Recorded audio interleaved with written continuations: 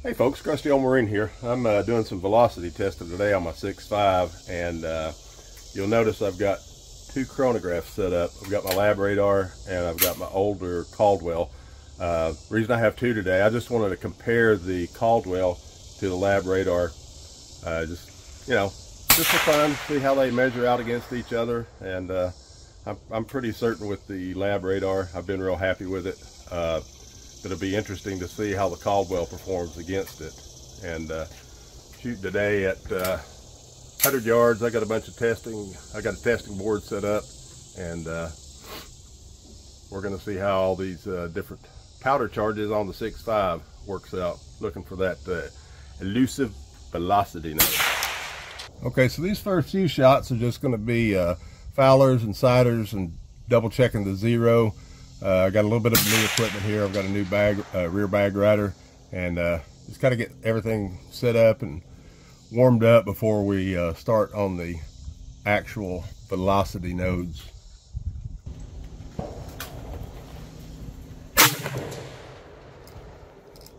That was 2671 on the lab radar, 2648 on the Caldwell.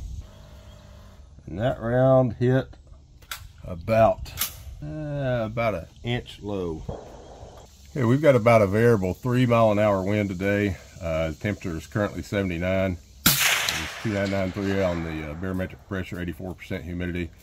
Uh, pressure altitude is 1063, so a little bit lower than our 1083 above sea level. But density altitude is 2638. Let's go for shot number two here.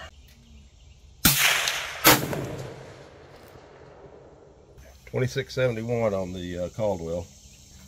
I think my lab radar just turned off.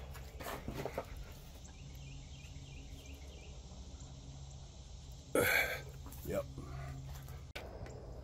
Okay, shot number three. 2695 on the lab radar, 2668 on the Caldwell.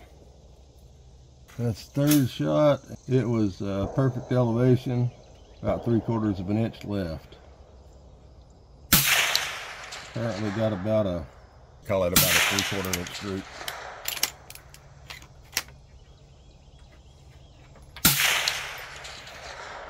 Take a fourth shot here, then we'll start some real testing.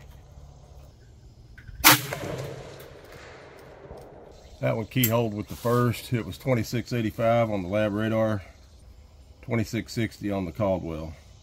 Now I'm going to start round robin on the uh, actual stuff we're testing today. The, the new Nosler brass and Nosler 140 RDFs. Okay, this is the 42.5 uh, grain.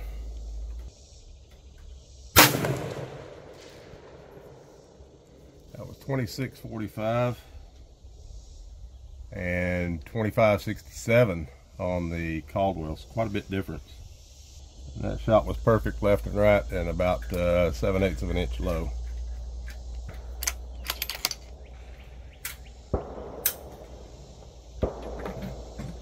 Now we're shooting these round robins, so the next one's going to be 42.8. Twenty-six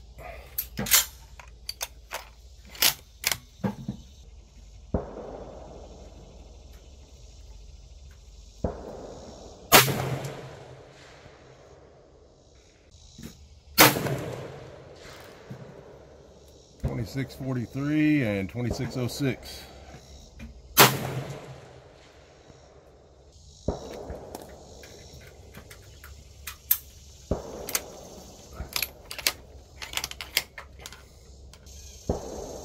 the next one's going to be 43-1.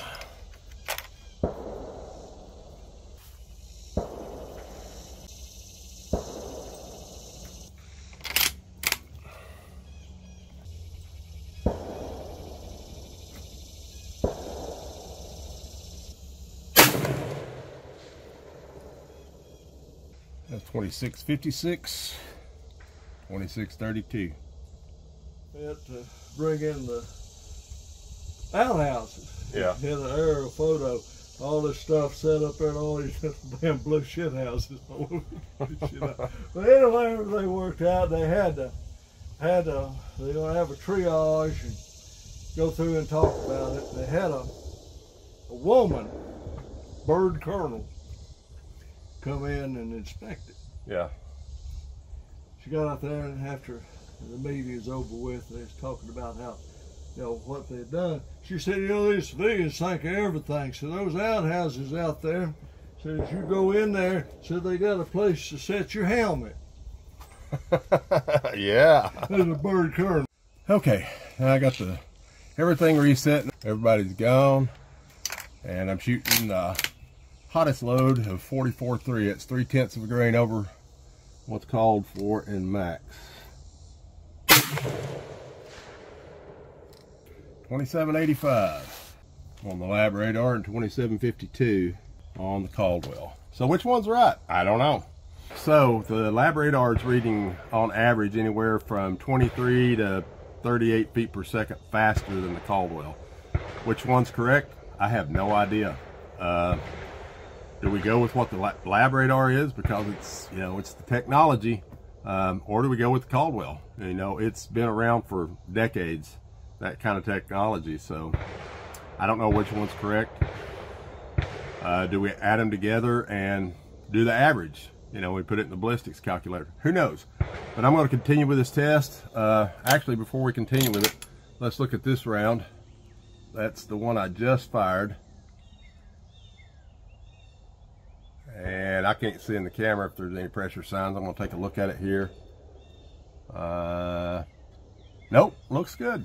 And uh, we'll do a new um, density altitude check and temperature check here and uh, record that for the second round. Here we go.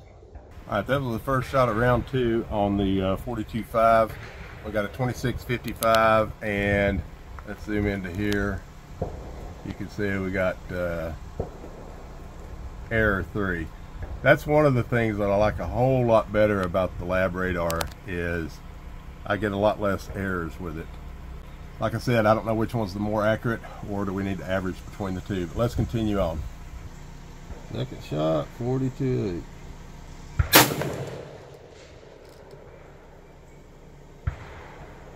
Twenty-six thirty-six. That's a little lower. And twenty-five sixty-four. And that shot just a little right, a little lower than shot number one. Makes sense. It's a little slower velocity. All right, moving on to 43.1. All right, that 43.1 was 26.62. Looks like it's the same hole. And 26.36. All right, 43.4.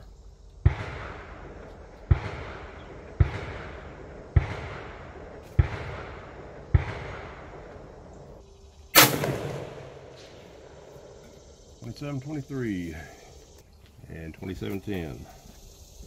All right, moving on to 43.7.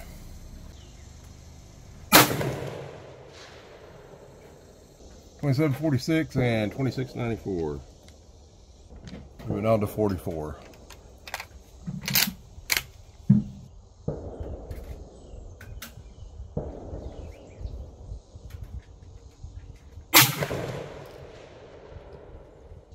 Close to the last hole. 2772, 2743. Out of the hot load, 44.3.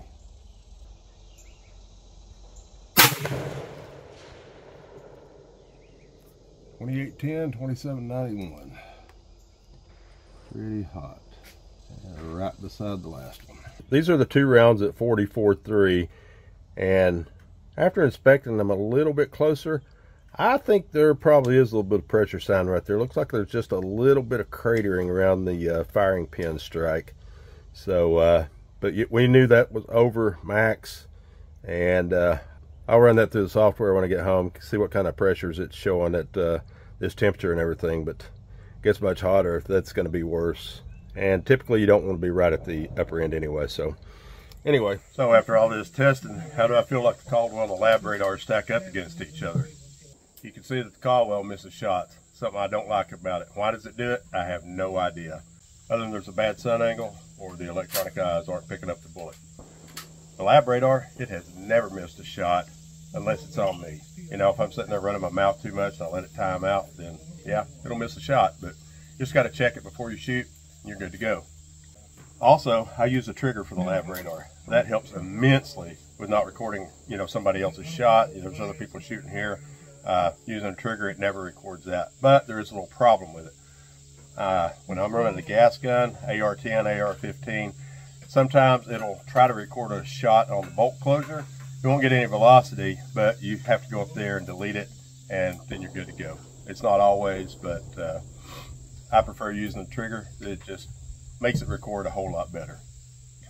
As far as accuracy on the Caldwell, well, it was positioned nine feet in front of the muzzle, and the shots it re was recording were way more off than what uh, velocity drop should be for nine feet.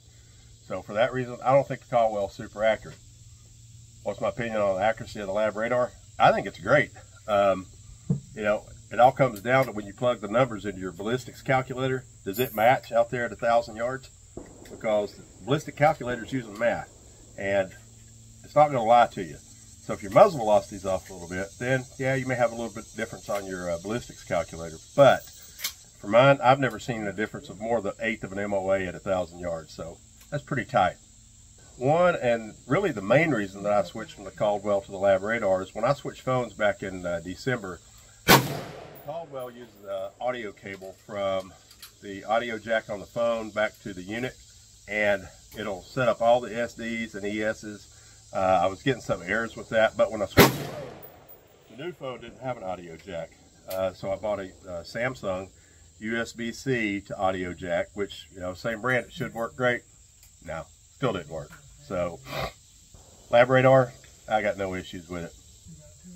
So, I hope you guys liked the video. Don't forget to like, subscribe, share the video. Uh, you know, your support means a lot to me. Helps me keep the channel going. And uh, don't forget, kids, X's win matches. Y'all keep the greasy side down. Have a good one.